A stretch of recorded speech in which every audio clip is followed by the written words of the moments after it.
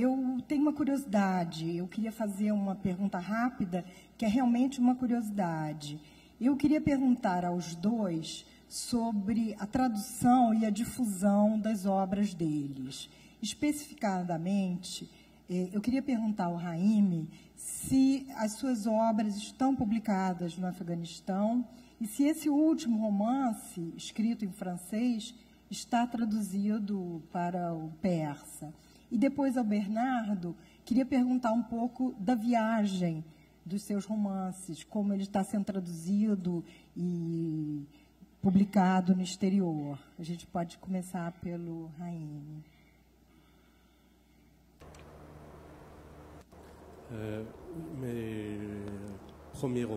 o meu primeiro, os primeiros romances foram escritos em persa.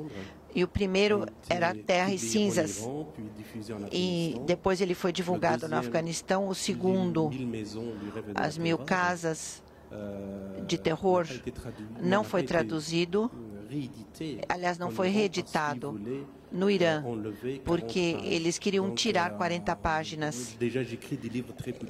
Eu, 40 páginas, os meus livros já não são longos, 40 páginas representa metade do livro, eu não permiti. E quanto às pedras de paciência, não foi traduzido, mas eu acho que boa sorte para aquela que está traduzindo, viu? Eu não sei como vai ser recebido, de qualquer maneira.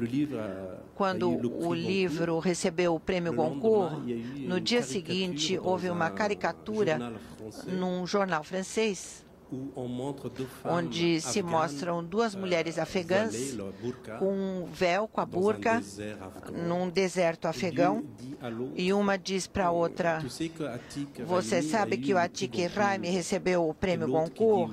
E a outra diz: Sim, mas felizmente nossos maridos não sabem do que se trata. Então é isso. Eu não sei como é que vai ser a reação dos afegãos em relação a esse livro? Mas veremos, veremos.